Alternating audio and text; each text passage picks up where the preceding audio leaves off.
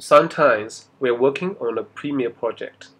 We want to import SRT subtitles to Timeline. It's quite complicated. Now with Premiere SRT, it's super easy to do that.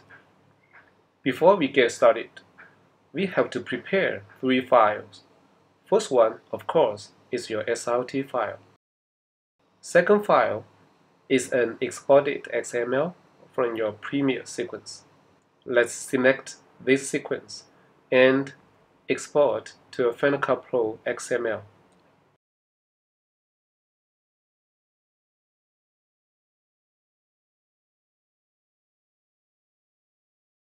The third file is a title template. We have to make a title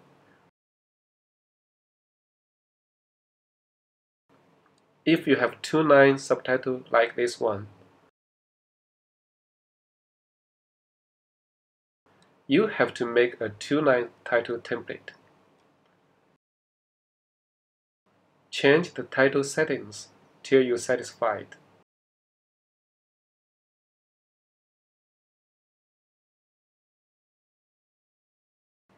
Then export it to a title file.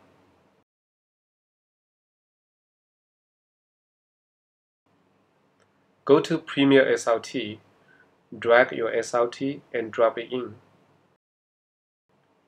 Drag your sequence file and drop it here. Drag your title template and drop it here. Click Export XML file and save it. As you can see, a new XML file and a new folder have been generated.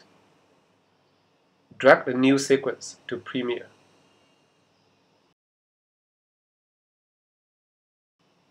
Double-click and open it. All subtitles are perfectly imported on the timeline. This blade has a dark past. It has shed much innocent blood. You're a fool for traveling alone. If you want to edit the subtitle, just click on it. It's just that easy. If something going wrong, please try to make your Premiere sequence as simple as possible and check if your SRT file is in standard format. If you have any question, please email to the following address.